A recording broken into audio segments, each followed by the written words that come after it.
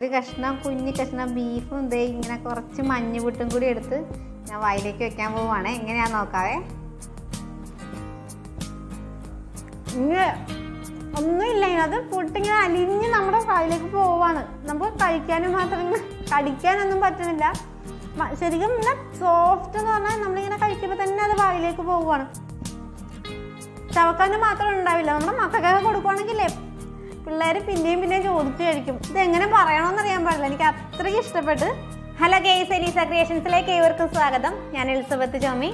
ഇന്ന് ഞാൻ നമ്മുടെ പത്താമത്തെ വീഡിയോ ആണ്. അപ്പോൾ ഇന്ന് ഞാനൊരു വെറൈറ്റി ഐറ്റമായിട്ടാണ് വന്നിരിക്കുന്നത്. അതായത് മഞ്ഞുവിട്ട്. മഞ്ഞുവിട്ടിനെ കുറിച്ച് ഞാൻ പിന്നീട് പറയാം. കുറച്ച് കഴിയുമ്പോൾ പറയാം. ഒരു കാര്യം പറയട്ടെ. ഇത്രയും ദിവസം ഇത്രയും ഈ പത്ത് വീഡിയോസ് ചെയ്യുമ്പോഴും ഒരുപാട് സപ്പോർട്ട് എനിക്ക് നിങ്ങൾ എല്ലാവരും തന്നിട്ടുണ്ട്. ഈ സപ്പോർട്ടിന് ഒരുപാട് ഒരുപാട് നന്ദി. പിന്നെ ലൈക്ക് ചെയ്യുകയും ഷെയർ ചെയ്യുകയും സബ്സ്ക്രൈബ് ചെയ്യുകയും കമന്റ് ചെയ്യുകയൊക്കെ ചെയ്തതിലൂടെ എനിക്ക് ഒരുപാട് എനർജി ഒരു ധൈര്യം കിട്ടിയിട്ടുണ്ട്. ഈ ധൈര്യമാണ് പുതിയ വീഡിയോയുടെ ഒരു എനർജി ആയിട്ട് എനിക്ക് എനിക്ക് തോന്നുന്നത്. അതിന് ഒരുപാട് ഒരുപാട് നന്ദി. അപ്പോൾ ഇനിയും സപ്പോർട്ട് ഈ സഹകരണം ഇനിയും എനിക്ക് ഉണ്ടാകണം. ഇനിയും മുന്നോട്ട് പോകാനായിട്ട് ഈ ഈ ഒരു സപ്പോർട്ട് അത്യാവശ്യമാണ്. അപ്പോൾ ആരെങ്കിലും നമ്മുടെ ചാനൽ സബ്സ്ക്രൈബ് ചെയ്യാതെ ഉണ്ടെങ്കിൽ ഒന്ന് സബ്സ്ക്രൈബ് ചെയ്തേക്കണേ. സബ്സ്ക്രൈബ് ചെയ്യുമ്പോൾ ആ ഓൾ ബട്ടണും കൂടി ഒന്ന് അമർത്തണം. എങ്കിൽ മാത്രമേ ഞാൻ വീഡിയോസ് അപ്ലോഡ് ചെയ്യുമ്പോൾ തന്നെ നോട്ടിഫിക്കേഷനായിട്ട് നിങ്ങളുടെ ഫോണിൽ ലഭിക്കുകയുള്ളൂ.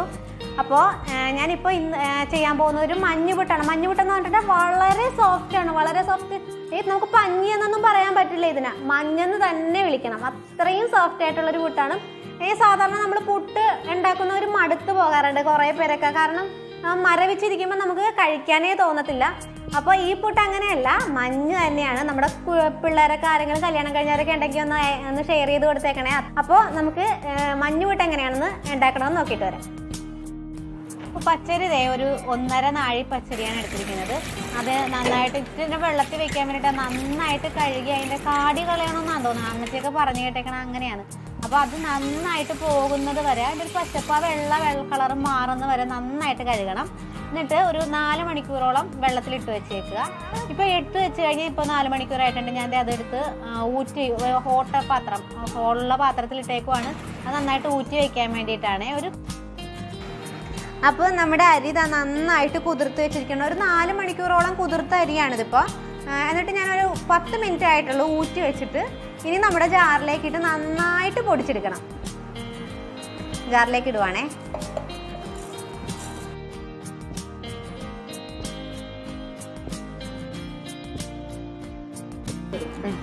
അപ്പോൾ അതേ നന്നായിട്ട് പൊടിഞ്ഞിട്ടുണ്ട് നമ്മുടെ പൊടി.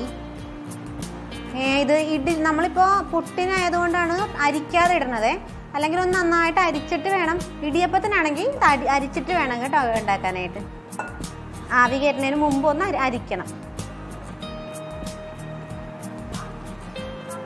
ബാക്കി കൂടി നമുക്കൊന്ന് പൊടിച്ചെടുത്തേക്കാം ഇതേപോലെ തന്നെ.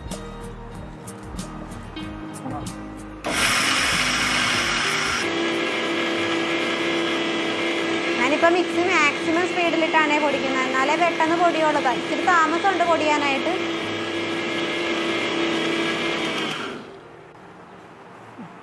അപ്പോൾ ഇത് നന്നായിട്ട് പൊടിഞ്ഞിട്ടുണ്ട്. നല്ല നല്ല നൈസായിട്ട് പൊടിഞ്ഞിട്ടുണ്ട്.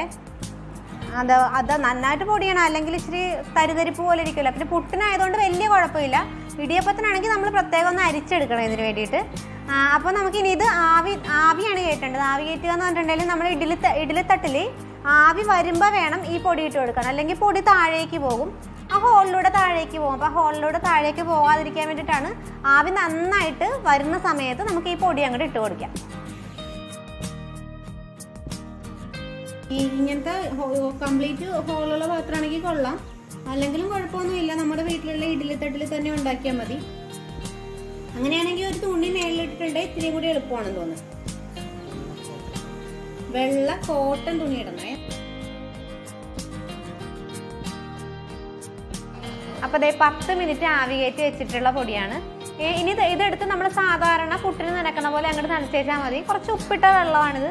അതിട്ട് നനയ്ക്കുകയാണ് ചെയ്യേണ്ടത്. അപ്പോൾ ഇത് ചെയ്യുമ്പോൾ ഇങ്ങനെ ഒരുപാട് പ്രോസസ്സ് ഉള്ള പോലെ തോന്നണ്ട. ഇത് തലേ ദിവസം ഇങ്ങനെ ആവി കയറ്റി വെക്കാം. ഇപ്പോൾ ഇത് വെച്ച് കഴിഞ്ഞിട്ട് ഏകദേശം ഒരു നാല് മണിക്കൂറായിട്ടുണ്ട്. നന്നായിട്ട് പൊടി തണുത്ത്. അപ്പോൾ നമുക്കിനി ഇത് പുട്ടിന് നനയ്ക്കണം സാധാരണ നനയ്ക്കണ പോലെ എടുത്ത് നനയ്ക്കാം.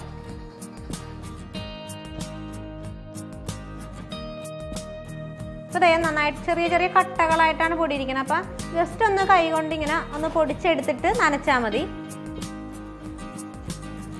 പൊടി നന്നായിട്ട് ന- പൊടിഞ്ഞിട്ടുണ്ട് കേട്ടോ. ഇനി നമുക്ക് ഈ ഉപ്പിട്ട വെള്ളം കൊണ്ട് സാധാരണ നമ്മൾ പുട്ടിന് നനക്കണ പോലെ തന്നെ എന്നാലും അത്രയും നനയണ്ട. കുറച്ച് കുറച്ച് നനഞ്ഞാൽ മതി. അത്രയും വെള്ളം ഒഴിച്ച് നനക്കണ്ട കേട്ടോ. അതുപോലെ അങ്ങോട്ട് നനച്ചേച്ചാൽ മതി.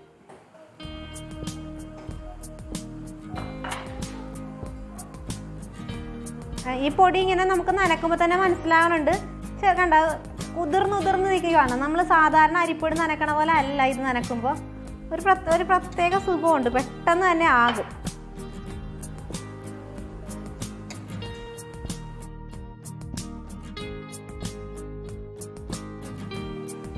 ഓക്കെ ഇപ്പോഴത്തെ കറക്റ്റ് ആ ഒരു നനവ് കറക്റ്റ് ആയിട്ടുണ്ട്.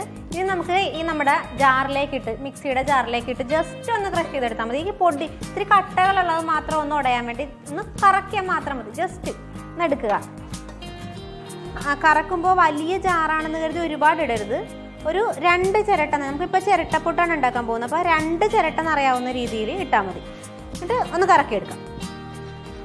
ഗൈസ് അപ്പോൾ നമുക്ക് ഈ പുട്ട് ഇനി ആവി കയറ്റി എടുത്താൽ മതി. അപ്പോൾ അതിനായിട്ട് നമ്മൾ ആദ്യം ദേ സാധാരണ പുട്ടിന് നിറയ്ക്കണ പോലെ തന്നെ കുറച്ച് തേങ്ങ ആദ്യം ഇടുക. അല്ലെങ്കിൽ ആവി നന്നായിട്ട് വരില്ല കേട്ടോ. അതുകൊണ്ട് ആദ്യം തേങ്ങ ഇടുക. അതിനുശേഷം പൊടി ഇങ്ങനെ കുറേശ്ശെ കുറേശ്ശെ ഇടണം. ഇടുമ്പോൾ ശ്രദ്ധിക്കണം. ആദ്യമായിട്ട് ചെയ്യുന്നവർക്കൊന്നും അറിയാൻ പറ്റില്ലല്ലോ. നിറ നിറച്ചൊന്നും ഇട്ടേക്കല്ല. ഇങ്ങനെ അമർത്തി അമർത്തിയൊന്നും വെക്കരുത് ഇത്. ആവി വരില്ല. പിന്നെ അതുകൂടാതെ നമ്മൾ ചില്ലൊക്കെ വെച്ചേക്കണം. ഇതിപ്പോൾ സാധാ ചിരട്ടപ്പുട്ടായതുകൊണ്ട് കുഴപ്പമില്ല. അല്ലെങ്കിൽ നമ്മുടെ മുകേഷിന് സംഭവിച്ച പോലെ ഇരിക്കും കേട്ടോ. ദോശയായിട്ട് കഴിക്കേണ്ടി വരും ലാസ്റ്റ് അപ്പോൾ നമുക്കിനി ഇത് നമ്മുടെ കുക്കറിലേക്ക് വെച്ച് ആവി വരുത്തും ഞാൻ കുക്കറിലാണ് വെക്കാൻ പോകുന്നത്. അപ്പോൾ കുക്കറിലേക്ക് വെച്ച് നമുക്കൊന്ന് ആവി വെച്ച് എടുക്കാം ആവി വന്നിരിക്കുന്ന കുക്കറാണ് അപ്പോൾ ലൈറ്റൊക്കെ അവിടെ കിച്ചണിൽ ഇല്ലാത്തതുകൊണ്ടാണ് ഞാൻ ഇവിടെ ഇങ്ങനെ ഇവിടെ വെച്ചൊന്ന് കാണിക്കണത്. ആവി വരുത്തിയിട്ടുണ്ട് ഈ കുക്കറിന് ഇനി കൊണ്ടുപോയി വെച്ചൊന്ന് സ്റ്റൗവിൽ വെച്ചാൽ മതി.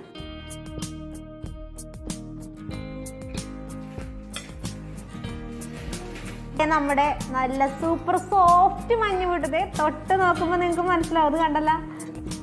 അപ്പോൾ ഇത് ഞാനിപ്പോൾ കഴിക്കാൻ വേണ്ടി പോകുന്നതല്ല കേട്ടോ. ഇത് ഞാൻ ഇവിടുത്തെ ടേബിളിൽ തന്നെ വെച്ചേക്കാൻ പോവുകയാണ്. നാളെ രാവിലെ വരെ ഇത് ഇങ്ങനെ ഇരിക്കട്ടെ.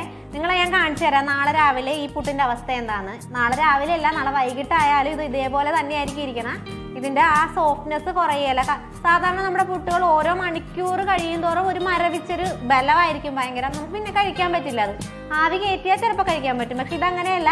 ഇത് നമുക്ക് നാളെ ഇതേപോലെ എടുത്ത് കഴിക്കാൻ പറ്റും.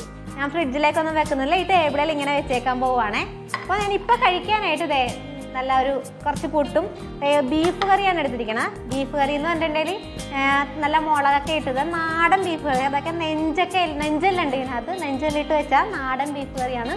മുളക് പൊടിയാണ് ഇട്ടേക്കണത്. കൂടുതലായിട്ട് നമ്മുടെ ഈ മസാല അധികം ചേർത്തിട്ടില്ല കേട്ടാ. അങ്ങനെ വെച്ചിരിക്കുന്ന ഈ പുട്ടിന്റെ കോമ്പിനേഷനായിട്ട് എനിക്ക് തോന്നണ കൂടുതൽ നല്ലത് ഈ മുളകിട്ട കറിയായിരിക്കും. അപ്പം നമുക്കിതൊന്ന് കഴിച്ച് നോക്കാം.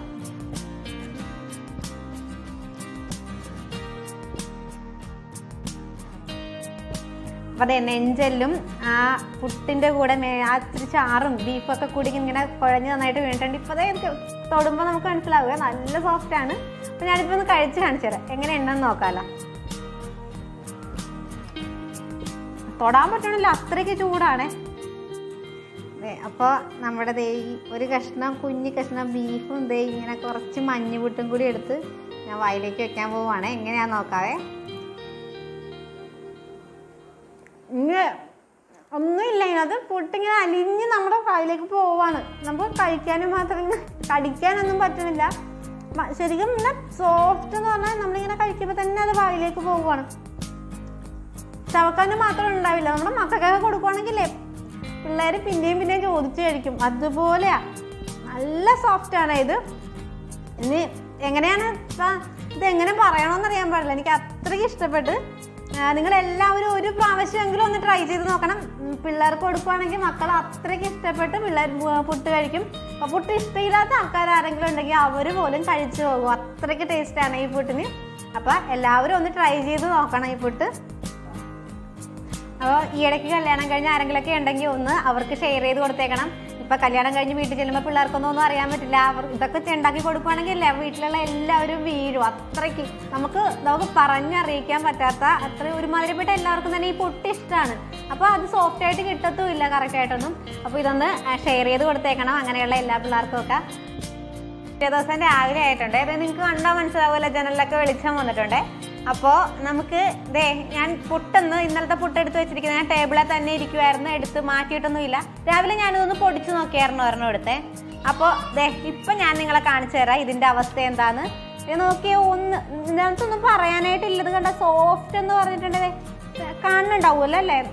നന്നായിട്ട് കണ്ടോ നമുക്ക് തൊട്ട് നോക്കുമ്പോൾ ഒന്നും ഇല്ല. അത്രയ്ക്ക് സോഫ്റ്റാ ദേ ഇനിയിപ്പോൾ ഞാനിത് പൊടിച്ച് കാണിച്ചു തരാവേ എങ്ങനെ ഉണ്ടെന്ന് നോക്കിക്കോ കേട്ടോ. ഇത് കണ്ടോ?